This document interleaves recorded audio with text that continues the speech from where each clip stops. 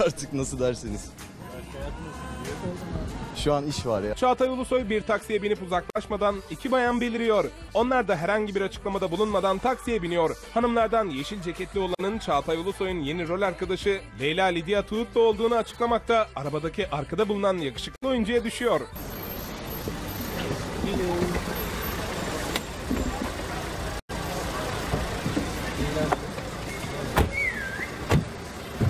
Gracias.